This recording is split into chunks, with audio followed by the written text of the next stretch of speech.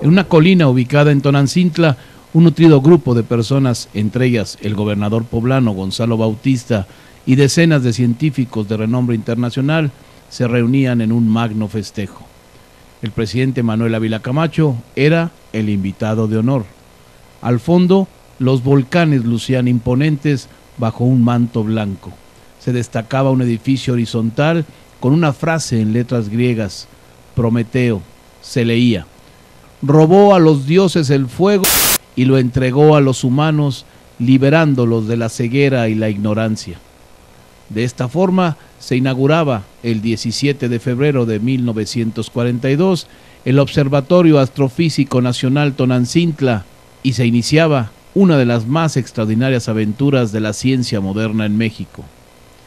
Ese es el antecedente histórico del Instituto Nacional de Astrofísica, Óptica y Electrónica, mejor conocido como INAOE, que en febrero cumple 70 años.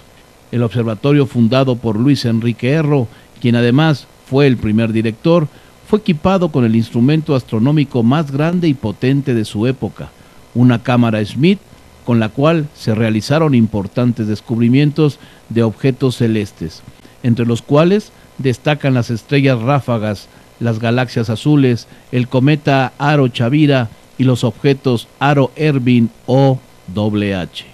Es en 1948 Guillermo Aro sustituyó a Erro como director de Loantón.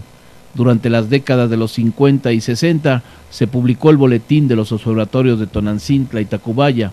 Se instaló un telescopio de un metro de diámetro tipo Cassegrain y se comenzó con el desarrollo de la óptica y de la electrónica.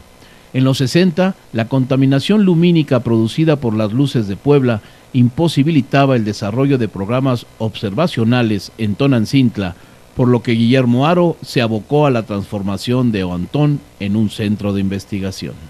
Así surgió el Instituto Nacional de Astrofísica, Óptica y Electrónica, INAOE, creado por decreto presidencial el 11 de noviembre de 1971 con los objetivos de preparar investigadores, profesores especializados, expertos y técnicos en astrofísica, óptica y electrónica, procurar la solución de problemas científicos y tecnológicos relacionados con las citadas disciplinas y orientar sus actividades de investigación y docencia hacia la superación de los problemas del país.